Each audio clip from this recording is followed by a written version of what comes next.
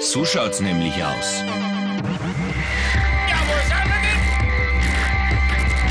Jetzt klang's. Ein Bayer tut Rügen.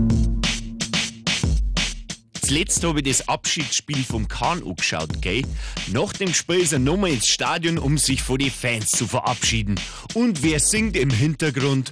Der Paul Potts, der To Sing Opera aus der Telekom-Werbung. Hab ich drauf geschissen und sofort weggeschaltet. Ich kann den Zipfel nämlich nimmer sehen.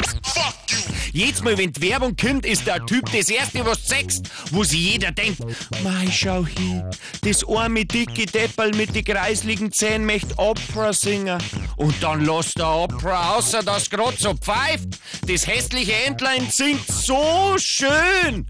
Alle warnen vom Fernseher. Don't believe the hype. Ja, vor Wut. Der Scheiß geht einfach auf den Sack.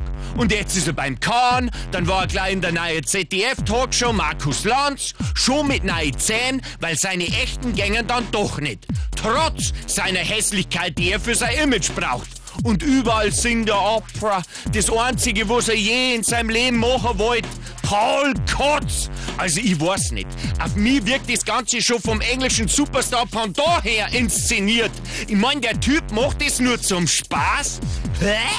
Wenn jeder dahergelaufene Depp Opera singen kann, dann kann ich das schon lang. Jetzt pass auf. Jetzt sing ich mal Opera. Yo. Alles,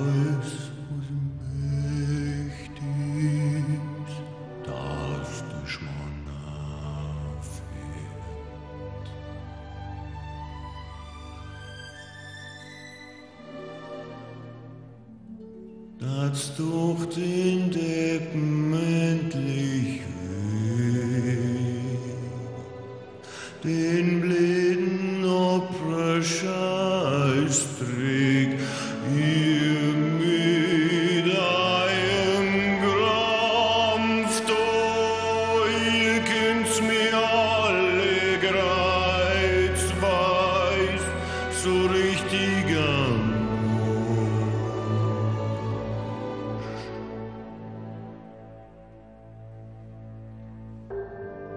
So schaut's nämlich aus.